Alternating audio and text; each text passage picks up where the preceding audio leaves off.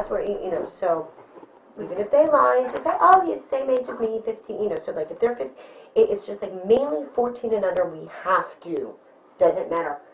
If their partner's the same age, younger, whatever, 14 and under, we have to report. 14 under. What, Uh, that includes being 14, right? Yeah, okay. 14, uh, you know, once they get to 15, then there's a little bit more playroom.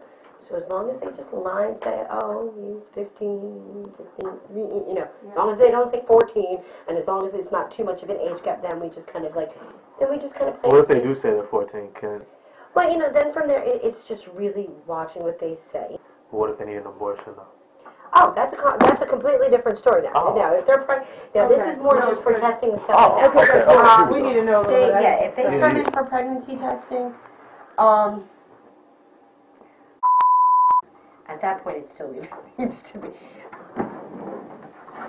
You never got this from me, just to make all of our lives easier. Okay. If they're 14 Yeah. and under, Yeah.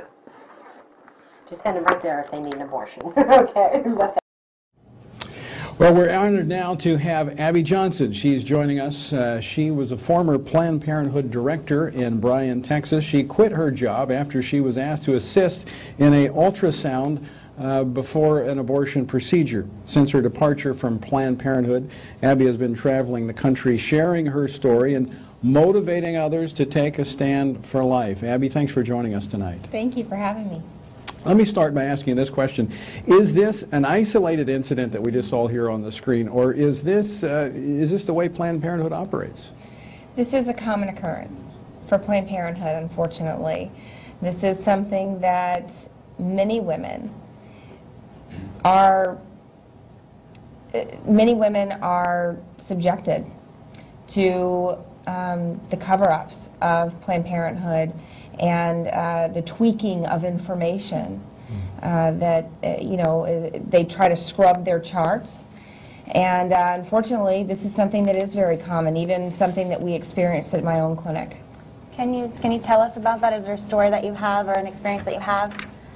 There is. Um, in fact, I remember a, a specific woman that we thought that we were doing the right thing for. We thought that we were caring for her, but she was a prostitute, and she told us that she began being a prostitute when she was a minor, although when she started seeing us for services, she was not a minor. Uh, she was a young woman, and uh, she would come in frequently for birth control visits and also for testing.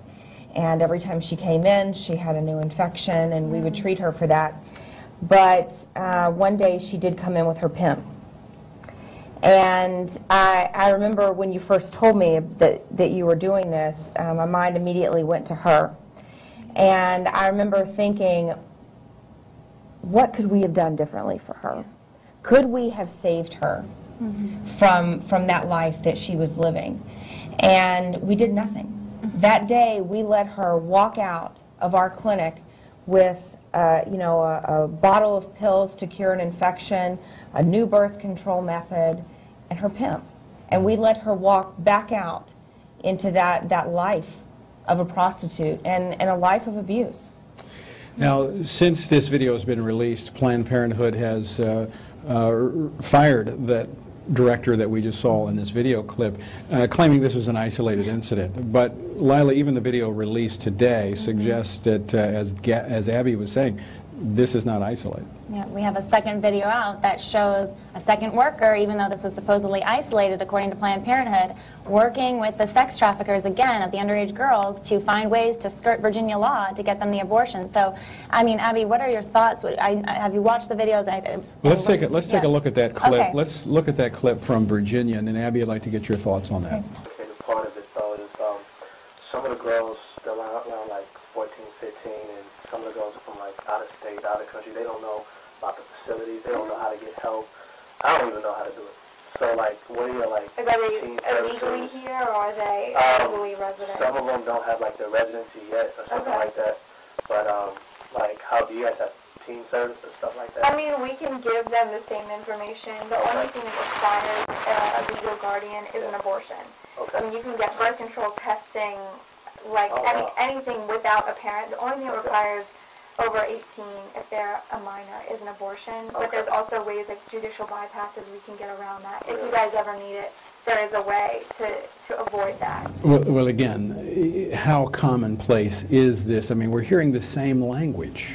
It's very common. Uh, I, I listened to this, I watched this video earlier today, and I thought, these are probably words that I may have said myself. It's words that I definitely heard other people say inside of Planned Parenthood. They will do anything. They will encourage anyone to have an abortion. They will coerce anyone into having an abortion. That's pretty strong language. Uh, that, and, and the evidence is beginning to suggest that that is in fact what, what's taking place here. Can you tell us more about minors going to the clinics uh, facing abortion decisions, whether they're coming from situations of abuse or even trafficking, um, the, the kinds of situations you've seen with maybe minors coming to the clinic and the, the, their positions of vulnerability and what that looks like when abortion is being considered and encouraged even by Planned Parenthood? Yeah, minors are frequently encouraged to have, have abortions. Minors are actually uh, the, the most vulnerable targets. They are the easiest to sell on abortions. Uh, frequently, they will come in with someone who is trying to encourage them to have an abortion, and they will actually talk with the clinic worker. They would talk with me and say, you know, can you please encourage her to have an abortion? Mm. Can you please talk her into it? And, you know, we are all good salespeople at Planned Parenthood, and that is our job. Mm. And with Planned Parenthood and their quotas and, you know, us trying to increase the amount of abortions, it's required. And in fact, Planned Parenthood just recently put out a statement that says every Planned Parenthood affiliate must be an abortion providing affiliate by 2013. This is going against what their stated mission is, that they want to make abortion safe, legal, and rare. The only thing that we have right now is that it is legal. Hmm. Does it appear then that this willingness to cover up sexual abuse in the pursuit of an abortion, trying to get that abortion, do you think those two things are related? Absolutely. Planned Parenthood is a safe haven for people who are trying to abuse girls and even minor women. Well, Abby, that's, uh, that's some explosive stuff there that tracks right along with the, the footage that uh, Live Action has been able to obtain. Thanks so much for joining us you. tonight. Thank we you. appreciate it so much.